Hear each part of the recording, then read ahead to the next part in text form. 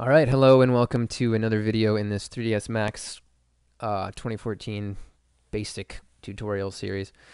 Um, so now we're just going to learn how to draw a line and convert it into a 3D shape, draw a shape, whatever shape you want, and make it into an actual object, and maybe cover a little bit about how to turn text into 3D as well for logos and animations. Okay, so your default, uh, you're going to start out with just your little uh, geometry tab under your create tab. Change that to the shapes tab right here, the one next to it. And click on line. Now, in order to draw easily, we're going to change the viewport to the orthographic um, top view. Okay, so we now have a top-down view, which will make us make it easier to draw.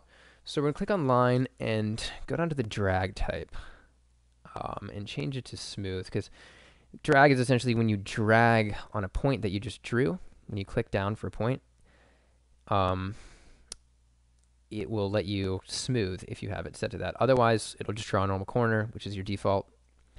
But now change it to smooth, and that way you can smooth out a corner when you hold down your mouse. So just normally clicking, not dragging, you could just get your normal jagged corners, but if you want to drag, hold down and drag, you get this. You can get a nice curve.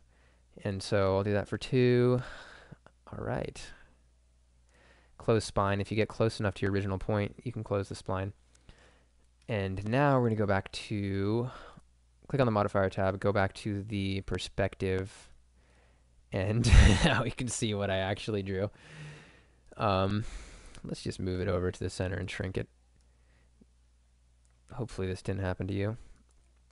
All right, now that that is done, we want to turn it into an actual polygon, which is easily done by going to the Edit Poly modifier. And that'll turn it into like a little plane, be a little cutout of whatever you drew. And then from there, you can go down to, you can go down to your polygon button, click on your face, and then you can extrude it out into a 3D shape by hovering over it, like any other extrusion. And now you have the beginnings of your 3D shape, which is cool, because you just made it from just drawing it a second ago. So now, I'm going to show you how to do the same thing with text. Very simple. With your splines me spline menu open still, go to text. You can adjust your size and font right here and you know, default is just max text. Um, so you can just delete the max text and just type in whatever you want. Uh, I almost was going to type straightforward tutorials, but I hate when people do pitches like that. So I'm just going to say 3D text. All right, cool. Now size, change it to six feet. Kerning is how far away your letters are. Important to know in the design world. That's cool.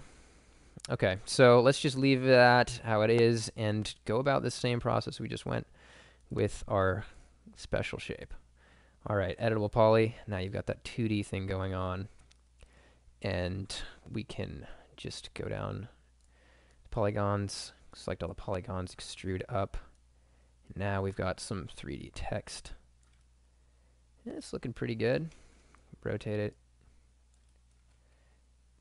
Bam. Right in there. All right, whatever logo you want, you can do.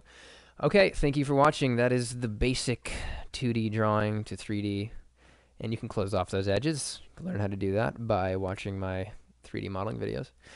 All right, thank you very much for watching.